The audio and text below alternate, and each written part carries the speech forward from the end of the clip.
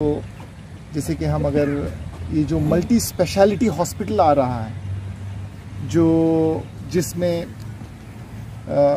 आपको highest level of care जिसके लिए मरीज़ों को कभी दिल्ली जाना पड़ता था, कभी कलकत्ता जाना पड़ता था या विदेश जाना पड़ता था, उस तरह का अस्पताल यहाँ पे बनने जा रहा है, जिसमें प्रमुख तौर पे हार्ट का कैंसर का, न्यूरो का, और जो फैसिलिटी तो हर फैसिलिटी रहेगी, और स्टेट ऑफ़ आर्ट सेंटर रहेगा N A B H J C I के एक्रीडिशन के लेवल का, उस थॉट प्रोसेस को लेके, जो उन्होंने विजन लेके जो चला था, उसको अभी रिसेंटली अप्रूवल मिली है, जो यहाँ का नक्शा पास हो गया है ए से परमिशन मिल गई है, और मिलने के दस दस या 15 दिन हुए हैं अभी। अभी वो हमारे हाथ नहीं लगा है। हमने तय किया है कि नेक्स्ट मंथ ट्वेंटी फिफ्थ को इसका इनाग्रेशन भूमि पूजन होगी और उसके बाद, उसके नेक्स्ट डे से यहाँ पे कंस्ट्रक्शन शुरू होगा। कंस्ट्रक्शन जो होगा, वो ग्राउंड बेसमेंट ग्राउंड से सेवेंथ फ्लोर तक का होगा, जो कि within two years complete होगा और विद इन टू ईयर्स उसमें से ग्राउंड और फोर्थ फ्लोर फंक्शनल होगा। यानी मोटा मोटा आप माने ढाई साल के अंदर यहाँ पे state of art super speciality treatment यहाँ पे अवेलेबल होगा, जो फंड्स की दिक्कत थी और जो कि प्रशासन से परमिशंस की जो ज़रूरत थी, वो सारे मिल रहे हैं। सेंट्रल गवर्नमेंट स्टेट गवर्नमेंट से जो हेल्प मिल रहा है उससे लेके ये जो विजन पूरा होने जा रहा है। And it's really a proud moment for Bokaro के uh, वो लोग भी बढ़ चढ़ कर इन्वेस्टमेंट को लेके या किसी तरह की जो फैसिलिटी से बहुत ही उत्साहित है। मैं कई डॉक्टरों से यहाँ पे मिला हूँ बुखारों के जो कि अपने अपने सेवा को लेके सर्विसेज़ को लेके पूरी तरह से तैयार है। यहाँ पे पूरे इंडिया से डॉक्टर्स आएँगे स्टेट ऑफ़ आउट डॉक्टर्स आएँगे और यहाँ के लोगों को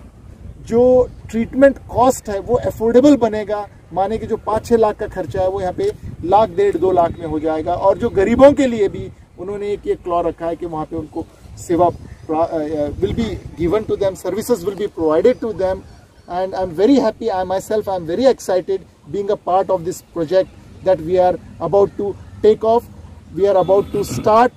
uh, next month 25th. We are going to start with the inauguration Bhumi Pujan and from 26th we are going to start with the uh, process of construction. Sir कितना bed रहेगा इसमें total initially first phase में uh, दो साल के अंदर डेढ़ सौ बेड का हॉस्पिटल होगा उसके uh, साल दो साल में वो ढाई सौ बेड का होगा उसके बाद पीछे एक ब्लॉक आएगी जो एक अनदर 200 बेड का होगा। लगभग मान के चलें कि नियर अराउंड प्रेजेंट और फ्यूचर में अराउंड 500 बेड्स होंगे सुपर स्पेशलिटी के लिए, जहाँ पे गरीब और अमीर, अच्छे और मतलब बेस्ट टू बेस्ट डॉक्टर्स होंगे और बेस्ट टू बेस्ट फैसिलिटीज़ होंगे लेटेस्ट फैसिलिटीज़ होंगे, जो वो सब लाने की प्रयास की जा रही है। And I am sure with the help with the support of the state and central government with the support जो विधायक जी जो कोशिश कर रहे हैं यहाँ के लोग जो कोशिश कर रहे हैं आई एम श्योर जिस तरह से चीज़ें आगे बढ़ी हैं